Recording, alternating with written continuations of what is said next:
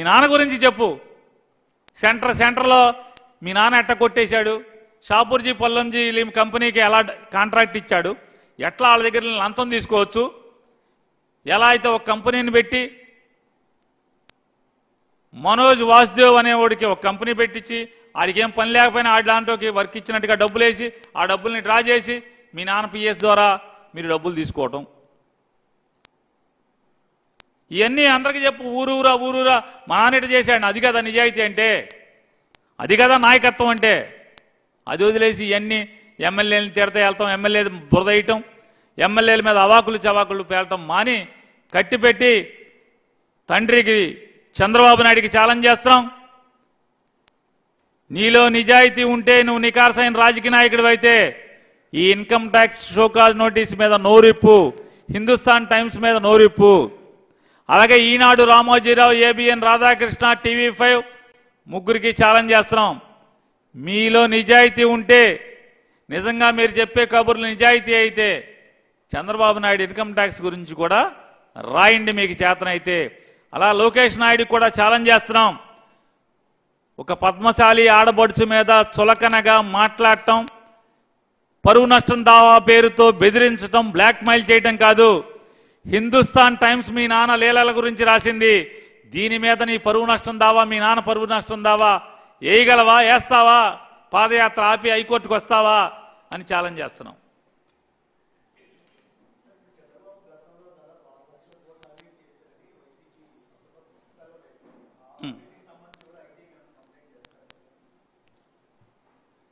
Sir ఇప్పటికి బోళ్ళని సార్లు complaint చేశాం.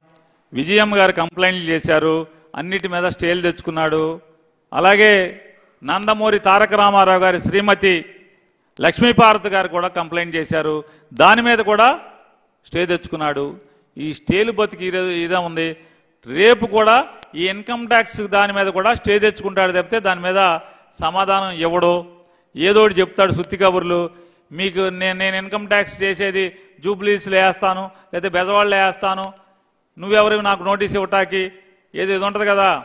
What I'm saying cut and paste what I'm saying that is cast and cut and paste cut and paste అంటాడు కానీ నా గొంతు కాదురా బాబు నేను కాదు. మీకు దన్నరా నేను కాదురా రామ రామ. నా బిడ్డల మీద ప్రమాణం నా తల్లి మీద ప్రమాణం దేవుడి మీద ప్రమాణం. లేకపోతే నేను నిజాయి నా అంతరాత్మ శుద్ధిగా చెప్తున్నాను. నేను కాదు ఆ మాటలు నాయ కాదని ఒక్కరోజు కూడా చంద్రబాబు చెప్పలా. రేపు కూడా అట్టాగే చెప్తాడు నాకు తెలిసినంత వరకు హైకోర్టులో స్టే తెచ్చుకోవటమా? లేదా what I'm saying he don't have any uh, jurisdiction income tax department don't have any jurisdiction Hyderabad I am living in Karakatta ఇట్లాంటిది ఏదో వచ్చిరా అని ఇంగ్లీష్లో మళ్ళీ ఒకటి చెప్తాడు మనకి పెట్టి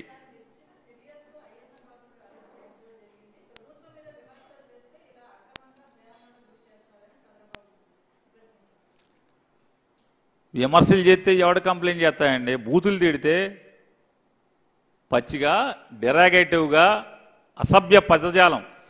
మనిషి మాట్లాడినటువంటి మనిషి అనేవాడు సభ్యత సంస్కారంతో నిండినటువంటి బాధ్యతతో కూడినటువంటి ఒక రాజకీయ నాయకుడు మాట్లాడకూడనటువంటి పరుష పదజాలంతో అసభ్యంగా మాట్లాడినందుకు చట్టంలో చట్టానికి లోబడి చట్టం మేరకు మాకున్నటువంటి హక్కుల పరిరక్షణ మేరకు మేము కంప్లైంట్ చేసాం పోలీసు కేసు కట్టారు.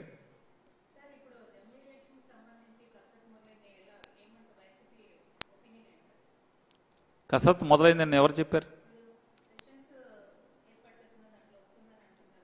అంటున్నారు కదా.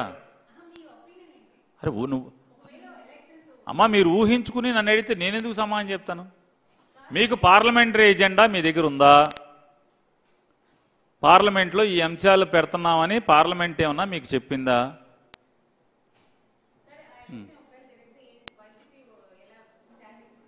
ఊహాజనిది చిలక జోసి ఏంటమ్మా? జరిగితే ఏంటి జరగపోతే ఏంటి? ఇది ఎక్కడికి వాళ్ళ ఎందుకు ఉంటది? జరిగితే ఉంటది. దాంట్లో ఏం జరుగుద్దా జరగదా? అదైతే ఇది ఇదైతే ఇది ఇది ఏమన్నా సినిమా డైలాగ్ అంటాం అదైతే అది రాసుకుంటా ఇదైతే ఇది రాసుకుంటా అని చెప్పని. అట్టేట అవుద్ది? అయ్యో అదేంటమ్మా? పరుసులు గోపాలకృష్ణ చెప్తాడు ప్రతిద్దని సినిమాలో. అదైతే అది రాసుకు ఇదైతే ఇది రాసుకో అదేంటి?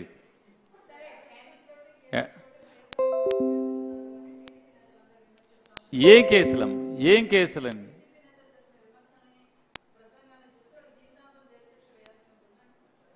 వెయ్యండి ఒకళ్ళ వైఎస్ఆర్ కాంగ్రెస్ పార్టీకి సంబంధించిన నాయకుడు ఎవరన్నా? డిరాగేటివ్గా లేకపోతే అసహ్యంగా మాట్లాడినప్పుడు ఒకవేళ పోలీసు మీకు న్యాయం అనిపిస్తే హైకోర్టుకి వెళ్తున్నారుగా కోర్టుకి వెళ్తున్నారుగా? ఏ కోర్టుకి వెళ్ళలేరేంటి నిజమే అయితే వెళ్ళేవాళ్ళు కదా ఈ పాటికే. వెళ్ళరుగా. ఎందుకు వెళ్ళరు? దాంట్లో నిజం లేదు. కాబట్టి వెళ్ళరు.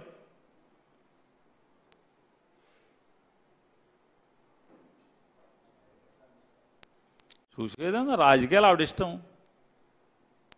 ఆడేం ఆవిడ సొంత పార్టీ పెట్టుకున్నారు. ఆవిడ ఒక ఇండిపెండెంట్ పొలిటీషియన్. ఆవిడ సొంత పార్టీ పెట్టుకున్నారు. ఆవిడ ఇష్టం అది. మనం చూసేది ఏముంది? నేను విశ్లేషకుడిని కాదు కదా. వైఎస్ఆర్ కాంగ్రెస్ పార్టీ నాయకుడిని. విశ్లేషకుడిని అయితే చెప్తాను. ఆవిడ ఇష్టం ఆవిడది. చూసి ఆవిడ రాజకీయ పార్టీ ఆవిడ ఇష్టం ఎన్నో పార్టీలు పుడతా ఉంటాయి ఎన్నో పార్టీలు వస్తూ ఉంటాయి కొన్ని నిలబడతా ఉంటాయి కొన్ని విలీనం అయిపోతూ ఉంటాయి. మన దానికి ఎవరిష్టం వాళ్ళది కదా? ఎవరు రాజకీయ ఎత్తుగడలు వాళ్ళకి?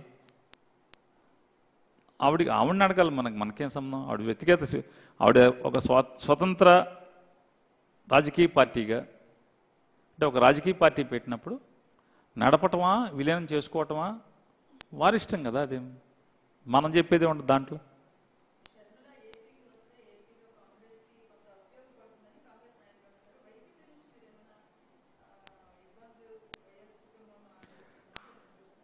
లేదా ఏం లేదండి అదే జగన్మోహన్ రెడ్డి గారు ప్రజానాయకుడు. దానికి ఎవరు వస్తారని ఊహించుకునేదో భయపడటం అట్లా ఏముంటుంది ఏముండదు. జనం గుండెల్లో జగన్మోహన్ రెడ్డి గారు ఉన్నాడు.